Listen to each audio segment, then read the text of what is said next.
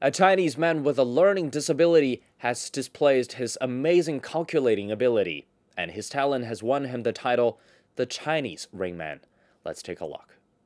In the movie Rain Man, American film star Dustin Hoffman played the main role as an autistic man with an incredible ability to recall information.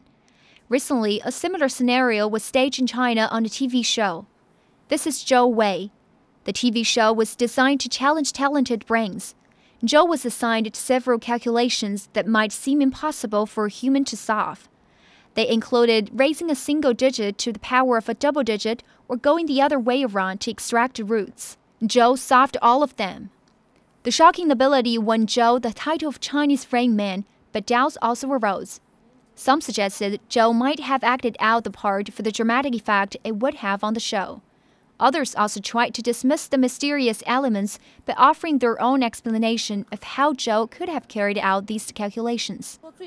Zhou's mother said he had shown a special interest in numbers at an early age. Zhou's family runs a small grocery in Shanxi province. Most of the time, Zhou would stay in the shop playing with his toy, a calculator. Zhou's mother said her boy first appeared to be normal, but months after he was born, doctors found something was wrong. His father once threw a pillow on the bed, which shocked him, and he started to cry and cry, and we couldn't stop him. It was then we realized there was something wrong with him. Zhou's case is unusual. At first, the doctor said he had persistent low blood sugar with no reasons detected. He was eventually diagnosed with cerebral palsy, but even with a relatively slow brain, Zhou was sharp in solving mathematical problems. In his first year in elementary school, he could solve problems designed for third graders. His unusual ability was then discovered. Sometimes when we bought a lot of things here, Zhou Wei would come up with the total price very fast. He had only finished his fifth grade, but few could beat him in this field. Our correspondent also gave Zhou a small test.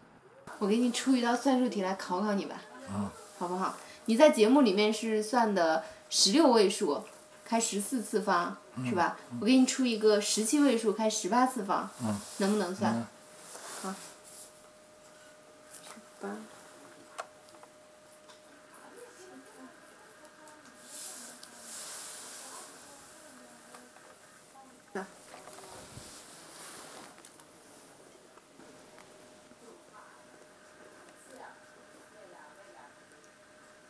嗯，多少啊？这是八点三省省略。Zhou's mother said she knows there are doubts about her son, but she doesn't care. Some doubt my son's ability, even saying that he cheated on those math problem. But I believe the truth will reveal itself eventually, and I don't care about what other people say about my boy. But in comparison with the acknowledgement of his talent, his mother said being seen as an equal member of society was far more important for Zhou Wei now. His family are trying everything they can to achieve that. In a few days, Zhou Yunlian is going to take her son to Shanghai, where a speech pathologist may help Zhou Wei to improve his speaking. The mother said she wants her son to have a normal conversation with others in future, so that they can understand what he says as well as what he thinks. This is CNC World, a new perspective.